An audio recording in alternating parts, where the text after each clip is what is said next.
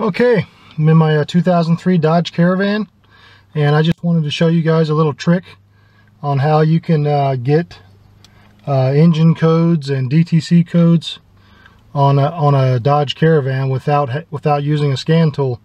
And what you need to do, you just take your uh, key and you put it in the ignition and you're going to cycle the ignition not to start but just to on, off, on, off, on, off, back to on a couple times. And if you watch here, one,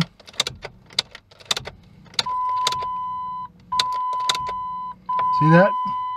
That's showing me a P code, P1684, and it's done. I'll do that one more time.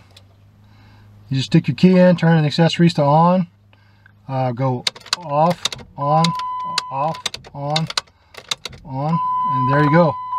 It'll show you the engine codes. I have a P1684 code on this, on stored, on stored. So if you're trying to find some codes, that's an easy way to do it. You just stick your stick your key in, cycle the key to off and on a few times. Uh, this is one thing about Dodge and Chryslers, a lot of them work. And it even works on my old Dodge Dakota over there. But that's how you do it.